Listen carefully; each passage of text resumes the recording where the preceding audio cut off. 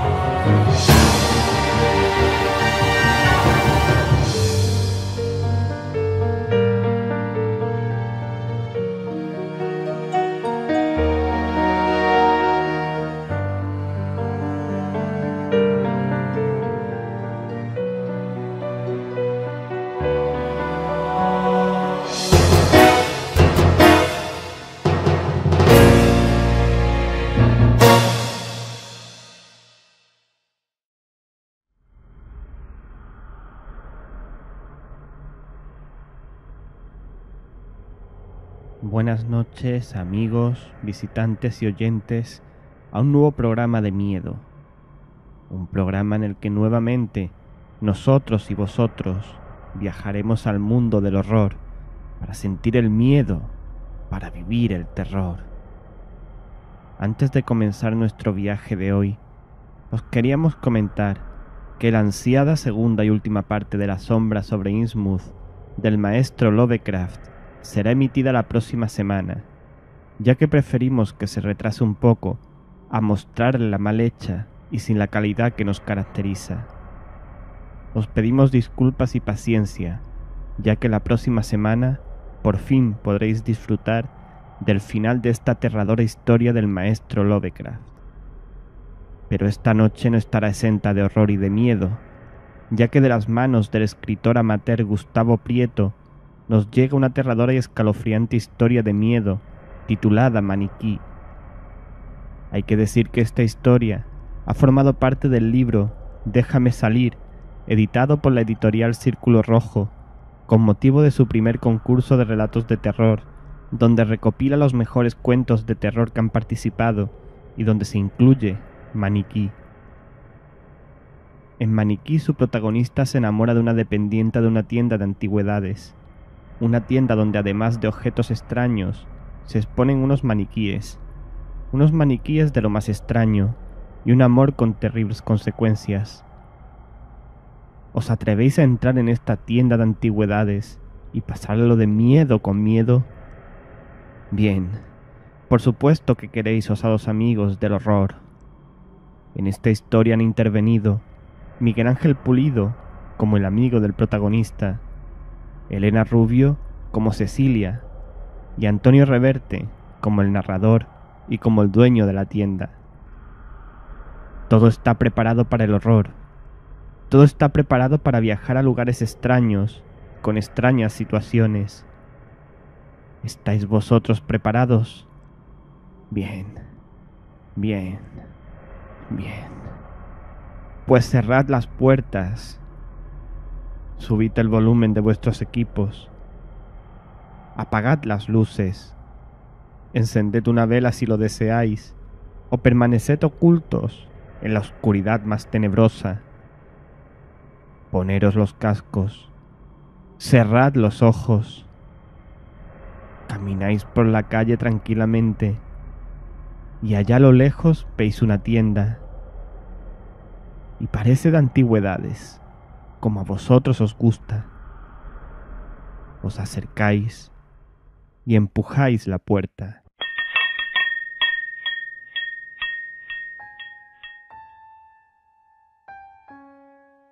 Sonó el tintineo de unas campanillas al entrar,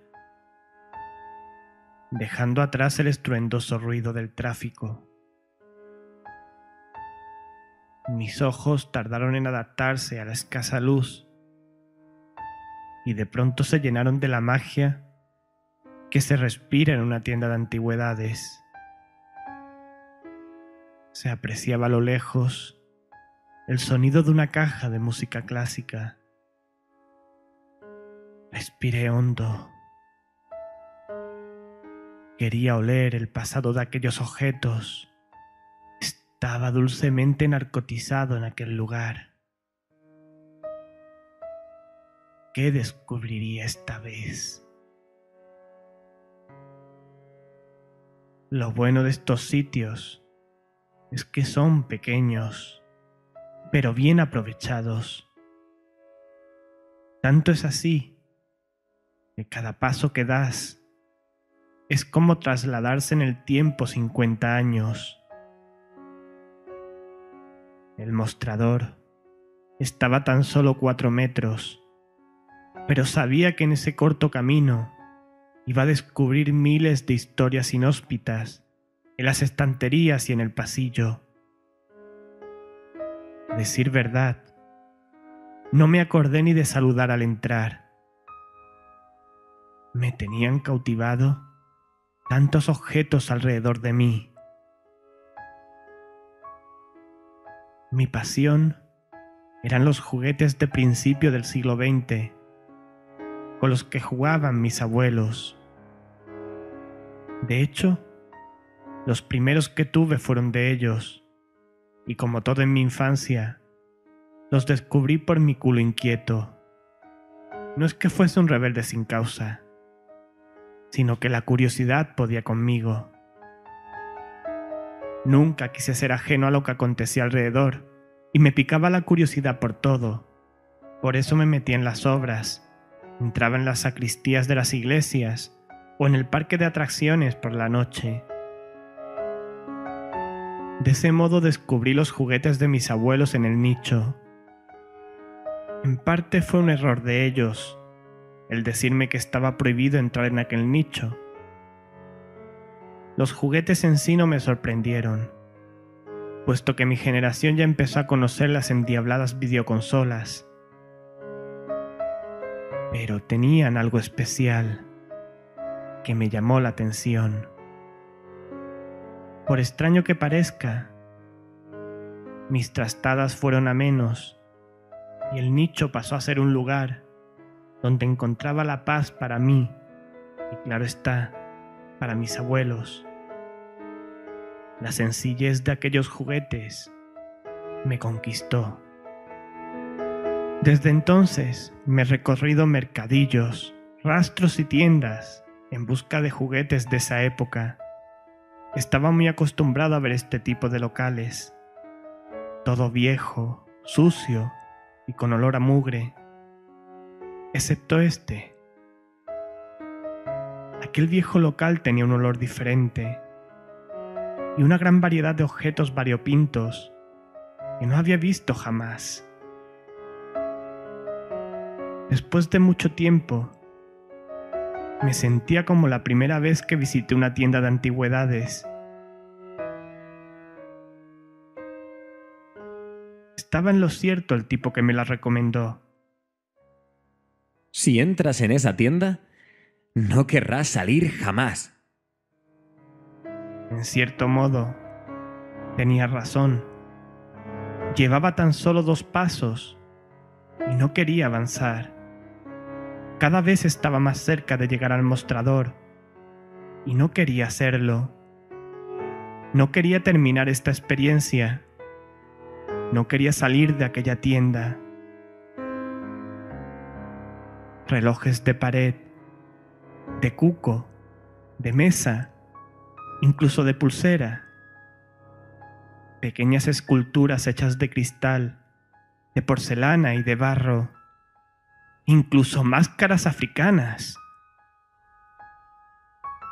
Poco a poco, fui divisando cada punto de las estanterías hasta llegar a los juguetes. Era una colección magnífica y muy bien cuidada. Todo hay que decirlo. Pero la gran mayoría los tenía y los que no eran de otra época. No me inquieté y seguí buscando hasta que me tropecé con alguien. Perdón, le dije. Al excusarme, tengo la manía de tocar el brazo a la gente, costumbres, y al hacerlo, esta vez me quedé helado. El brazo estaba rígido y frío. No era una persona. Me había tropezado con un maniquí. Me quedé mirándolo con una sonrisa estúpida, que se me quitó al observar poco a poco el rostro de aquel objeto inerte. Era una réplica de una mujer endiabladamente bella. Tenía una mirada que partía el corazón.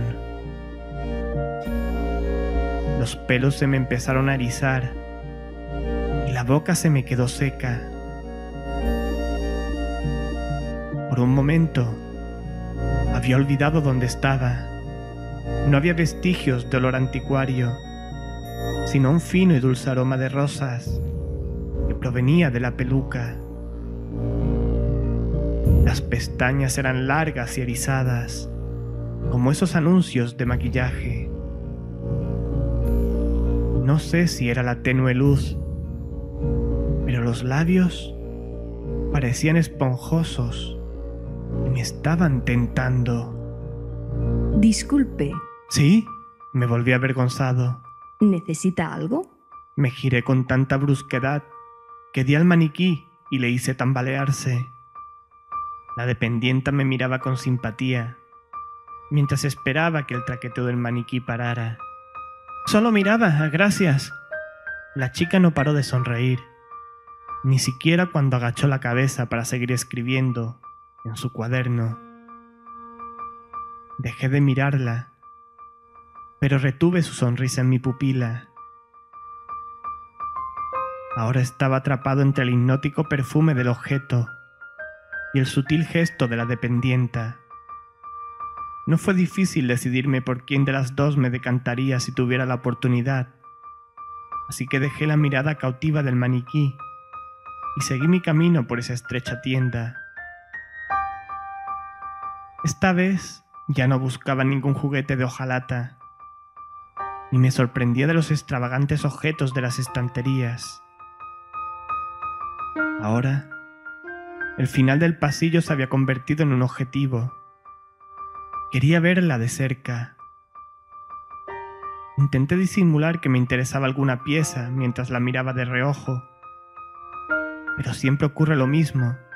Cuanto más te empeñas en pasar desapercibido, más llamas la atención. Al dejar en su sitio un tío vivo del tamaño de mi mano, empezó a girar y sonar una canción chirriante.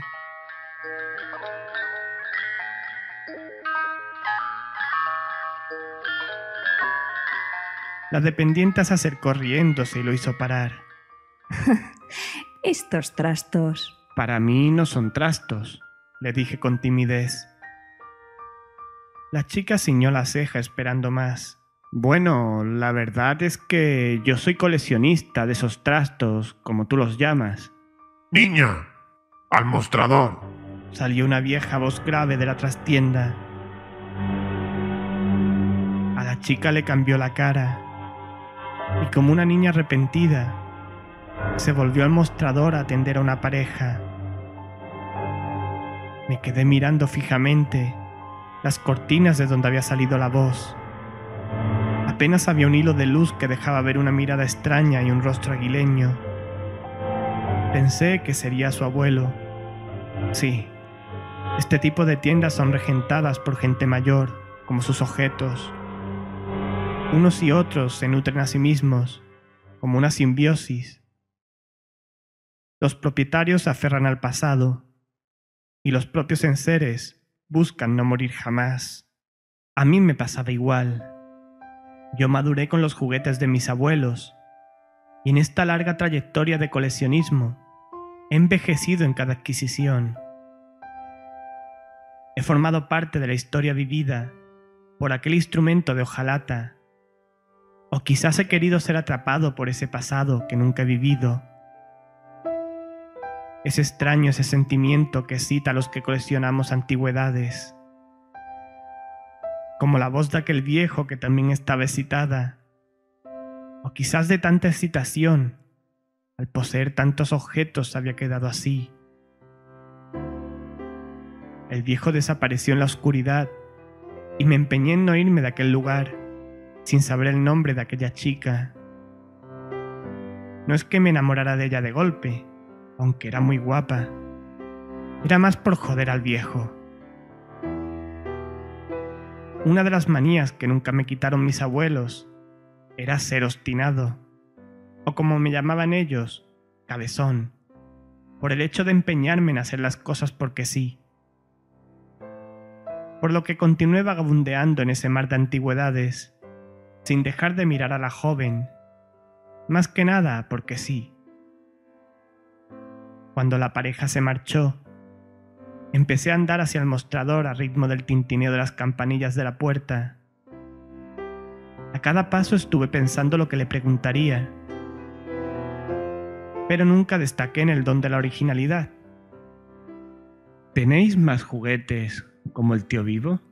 La chica sonrió. Creo que es todo lo que hay, pero déjame mirar.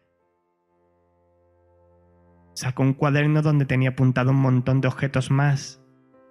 Al parecer, la tecnología tampoco quería llegar para hacer inventarios. Tras revisar una larga lista escrita a bolígrafo, negó con la cabeza dejando escapar el mismo perfume que llevaba el maniquí. Me quedé sonriéndola un rato y me fui casi arrastrando los pies. Abrí la puerta golpeando las campanillas y la miré. Por cierto, ¿cómo te llamas? Cecilia, dijo con inocencia. Cecilia, repetí en mi mente. Me fui de aquella tienda con el corazón palpitando más que de cualquier otra donde hubiera comprado algún objeto extraño. Me sentía satisfecho, como si hubiera encontrado un tesoro, pero mis manos iban vacías. Desde luego que no era una tienda cualquiera. Esa tienda no solo tenía una gran variedad de antigüedades, sino que tenía una dependienta con una sonrisa de premio Nobel. Estuve varios días resistiendo la tentación de pasarme otra vez por aquella tienda, por no ser demasiado pesado. Aunque en cierto modo me inquietaba más la voz del viejo que la sonrisa de la chica. Fue la noche antes de mi segunda visita, cuando tuve aquel extraño sueño.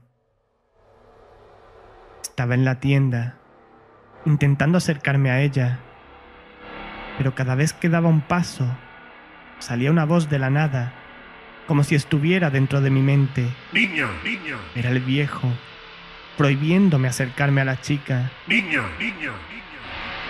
A pesar de sus gritos, yo seguía andando hacia ella. Niña, niña. Pero la tienda se expandía y ella se alejaba. Niña, niña. Esa pesadilla puso punto y final a mi espera.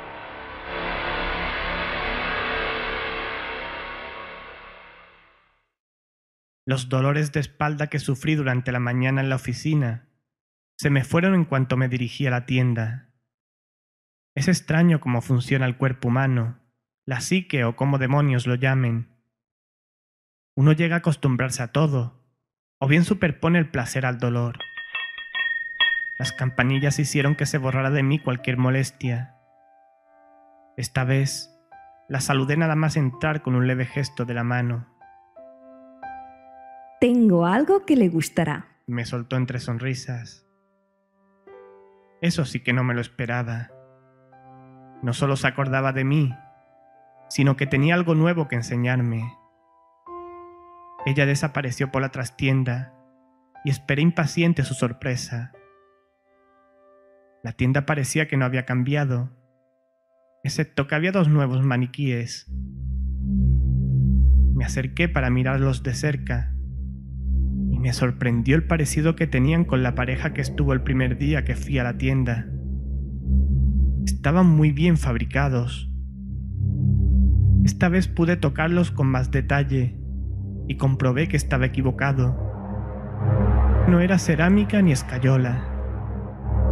Era un material extraño, endeble. Tenían pelos, lunares. Y su mirada. Me entraban escalofríos al mirarlos a los ojos. ¿Le gustan? Me inquietan. Le contesté mientras me acercaba al mostrador. Son la atracción de la tienda. Intenté ver si había alguna nariz aguileña observándonos, pero parecía que aquel día nos había dejado en paz, por lo que aproveché para saber algo más de ella. Los construye tu jefe, supongo. Bueno, en realidad es mi abuelo. Al ver que mi mirada iba de sus ojos a la trastienda, me contestó. No está. Ha ido a comprar más mercancía. Para los maniquíes. Ella sonrió y decidió zanjar la conversación mientras sacaba unos juguetes de las cajas. Seguro que no tienes estos. En efecto, no los tenía, por lo que yo también hice por olvidar la conversación anterior y centrarme en aquellos juguetes. Empecé observando los rudimentarios enseres de hojalata, con ansia de coleccionista, y poco a poco me fui fijando en sus manos. Su voz empezó a sonarme con eco, hasta perderse. Finalmente mi mirada dejó sus manos y continuó por los brazos, hasta acabar en sus labios, que se movían con candidez, mientras me explicaba alguna historia extraña de esos cacharros. Compré dos juguetes a un precio desorbitado y dejé uno más para tener la excusa de volver el mes siguiente, aunque esta vez la excusa era bastante sólida, ya que me había desplumado por su buen hacer como vendedora. Ya no había excusas. No quería volver por joder al viejo, ni por los juguetes. Quería volver por ella. ¿Para qué me iba a mentir más? me dije. La próxima vez le invitaré a un café.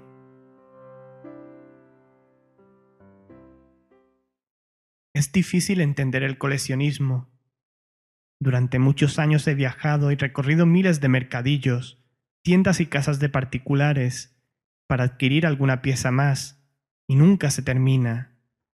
Será una forma de querer vivir eternamente. Tener una afición sin fin, sin metas, con el único objetivo de acumular y acumular. Tengo varias estanterías repletas de juguetes en el salón, pero esta es la exposición VIP, como la llamo yo, ya que otra habitación, la de ocio, la tengo exclusivamente para juguetes sin historia ni dueño, o sea, anónimos. Hay algunos que todavía no les he sacado de la caja y otros que no recuerdo dónde los compré, excepto estos últimos, que los coloqué en un lugar privilegiado del salón, un lugar donde pudiera recordar a cada instante y a esa tienda tenía que volver. No tardé ni un mes en hacerlo. Las campanillas seguían chivando a los dueños la entrada de un posible comprador. Cuando mis ojos se adaptaron a esas sombras maquiavélicas, observé que no había nadie. Supuse que estarían en la trastienda colocando cajas o haciendo aquel rudimentario inventario con el cuaderno y lápiz en mano. Ya me conocía la tienda al dedillo, por lo que fui directo al mostrador, saludando a un maniquí que posaba con actitud chulesca. Tras dos toses, para advertir que estaba esperando y un saludo cordial, no recibí respuesta. Inquieto por la espera y por los ojos inquisidores del maniquí, decidí entrar en la trastienda.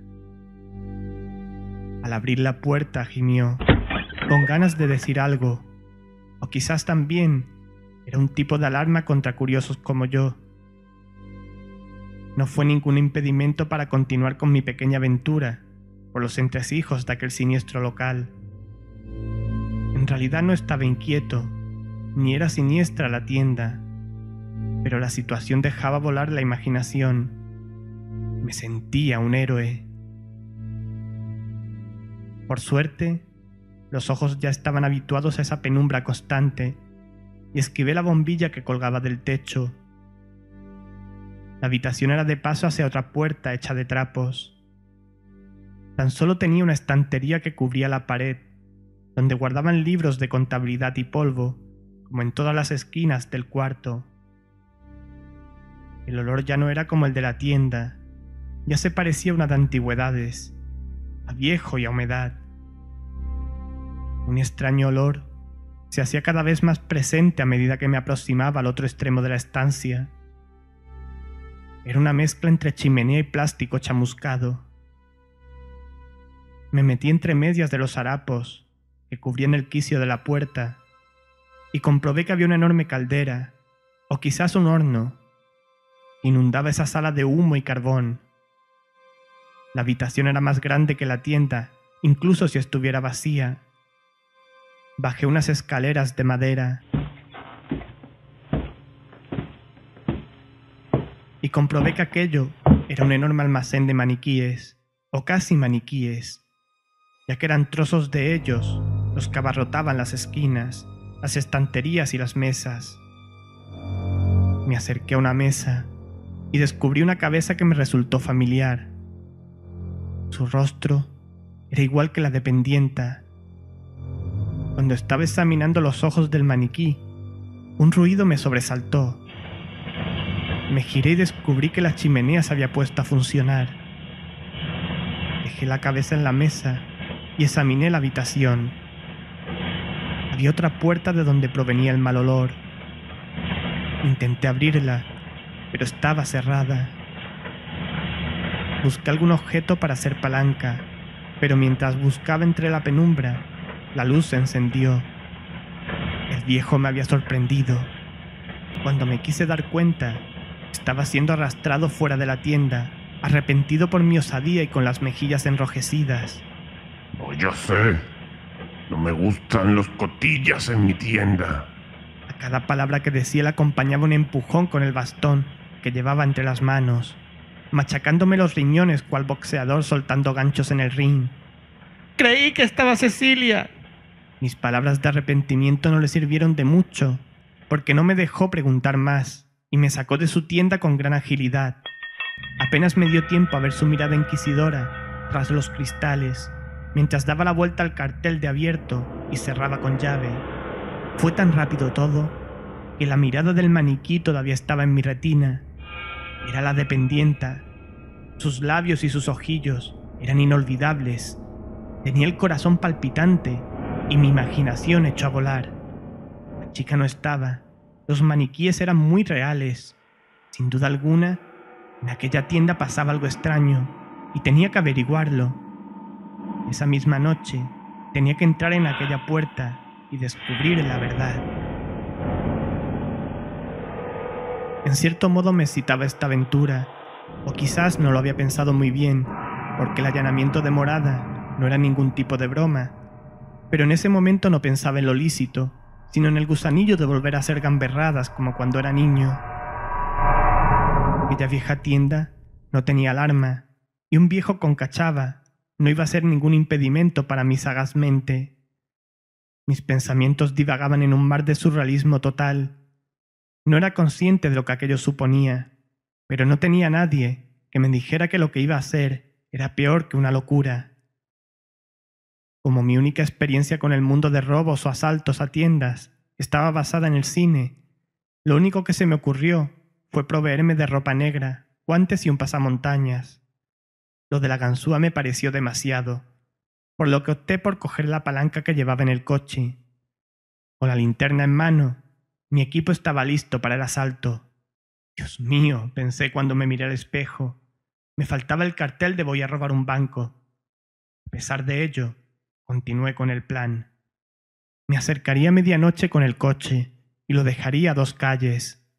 Iría andando a la tienda y entraría forzando la puerta. Me dirigiría directo a la trastienda y averiguaría qué coño estaba ocurriendo allí. Me tumbé en la cama para repasar los errores que habían cometido en los robos de las películas. Esos errores que les habían llevado entre rejas. No quería que esta pequeña aventura acabase mal. No estaba nervioso, aunque apenas cené. En fin, el plan era sencillo y no necesitaba un mapa de la minúscula tienda, por lo que me relajé y mi imaginación aportó el lado aventurero del asalto a la tienda y sobre todo, lo que había detrás de aquella puerta. Me podía encontrar con cualquier cosa, incluso con nada. Lo que más me preocupaba era eso, que esta osadía me llevara a no descubrir nada, y por culpa de esta curiosidad innata, acabara mal. Pero esto no sirvió para amedrentarme. Aquel viejo ocultaba algo. Aquella tienda tenía algo más por descubrir. El sospechoso horno crematorio y el extraño olor que provenía de detrás de la puerta. Todo eso me empujaba a seguir adelante.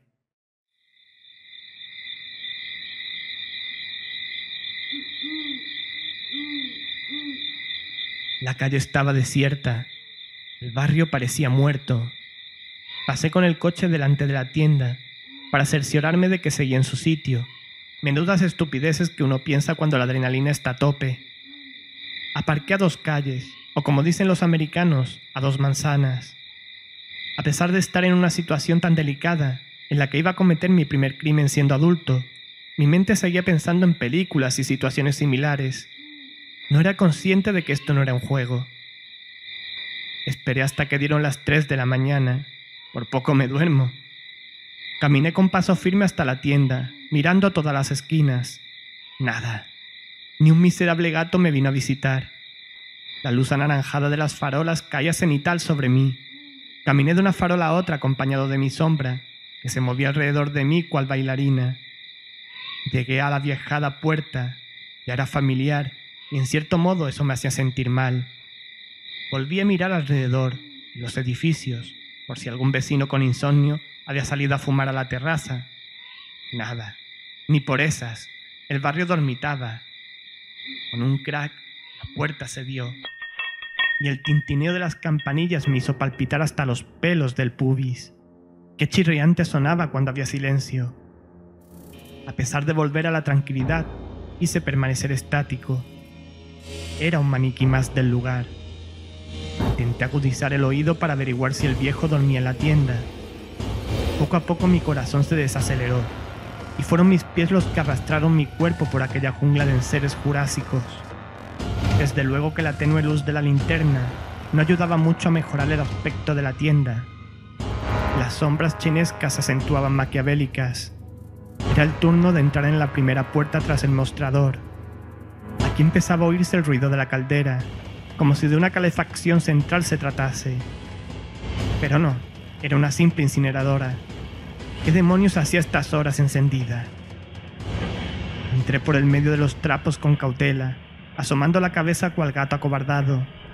No había nadie, pero el fuego seguía encendido.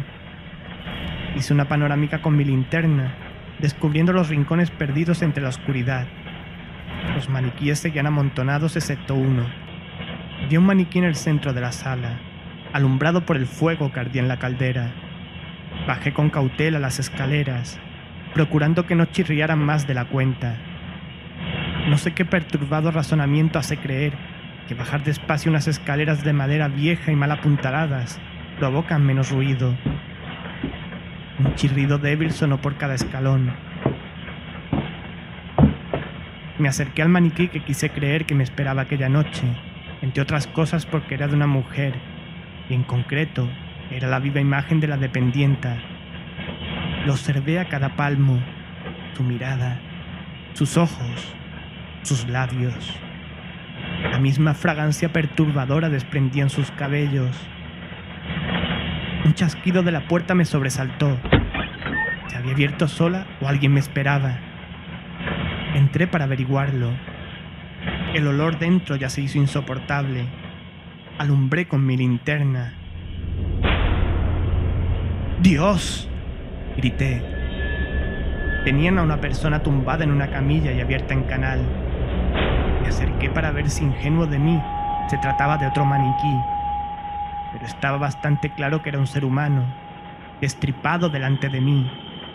¿A qué coño se dedicaba esta tienda? Mis impulsos se descontrolaron e intenté salir de allí, esta vez sin preocuparme de los ruidos. Veo que no solo le interesan los trastos. De la oscuridad salió la dependienta. Esta vez era ella. Seguía manteniendo esa sonrisa cautivadora. Creí que... balbuceé como pude. Me agazapé en una esquina junto a unos maniquíes, pero ella siguió acercándose, por lo que no me quedó otra que agarrar con fuerza la linterna por si las moscas. ¿Qué coño hacéis aquí? Ya le dije, me contestó con tono jovial. los maniquíes son la atracción de la tienda. Se dirigió a la habitación del cadáver y el eco hizo el resto. Son la especialidad de la casa.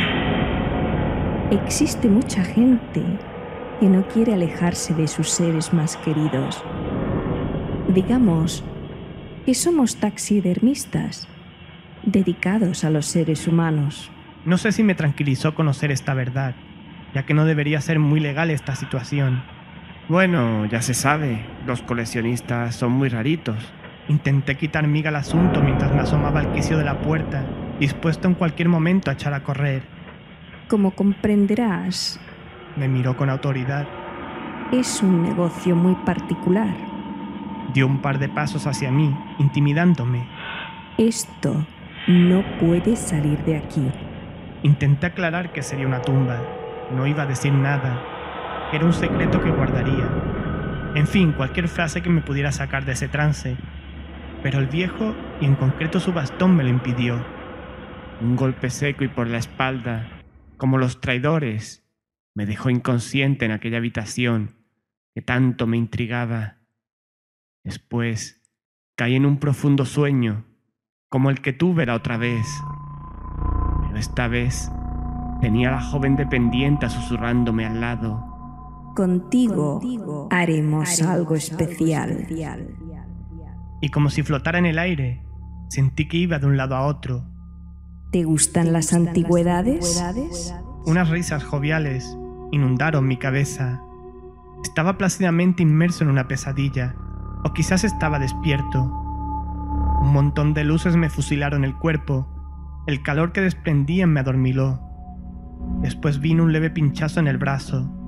Veía la imagen del viejo multiplicada, moviéndose continuamente de un lado a otro. Eran tantas las que bailaban a mi alrededor que no sabía cuál de ellas era la real. Mi mente se iba y venía. Ahora era ella, ahora el viejo. Estaba drogado y empecé a sentir calor en mi cuerpo, mucho calor. Mis articulaciones estaban a punto de ebullición. Estaba cosiendo, pero mi mente no. Seguía ahí hasta que me desvanecí.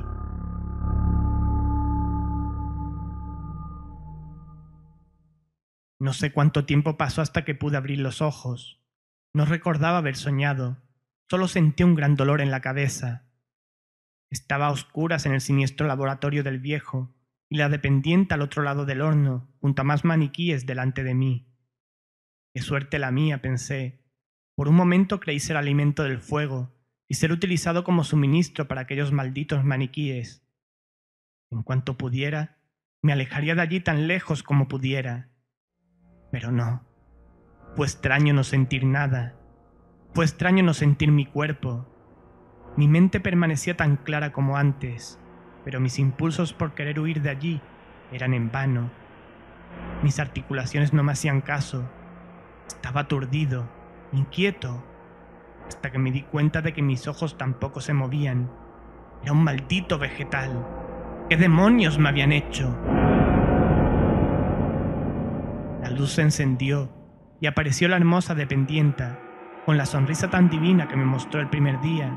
Cogió un remolque con ruedas y vino hacia mí. Hoy es tu gran día. Me susurró. Sin saber muy bien qué hacía, me cogió en volandas y me subió al remolque. Solo vi cómo me desplazaban con mucha delicadeza escaleras arriba. Reconocí los trapos de la puerta y la vieja habitación donde estaban los libros de contabilidad. Me sacó a la tienda y con mucho cuidado me llevó al escaparate, junto a un espejo con el letrero maniquíes a medida. Como yo, era un auténtico maniquí. Estaba atrapado en un maldito maniquí. Hice gritar de horror, hice llorar de impotencia Quise salir de allí, pero era incapaz de moverme ni de sentir. Habían hecho de mí un muñeco que permanecería así para siempre, en la tienda cual expositor, para siempre.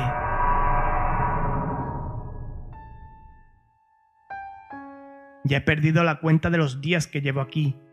Solo distingo los domingos, que son cuando la dependienta no viene a sonreírme ni a limpiarme con un plumero con mucha delicadeza, ni a darme un beso en la nariz o en el trozo de plástico que suplantaba la mía. Poco a poco, mi rabia y mi impotencia se han ido desvaneciendo. He descubierto bajo aquella extraña situación que en el fondo tampoco estoy tan mal. Apenas necesito mucho mantenimiento y además, por primera vez en mi vida, soy feliz. Vivo en un local de antigüedades, junto a una deliciosa muchacha, con una sonrisa endiablada, y lo mejor de todo es que mirándome al espejo, me han dejado mejor tipo del que antes tenía. ¿Qué más se puede pedir en esta vida?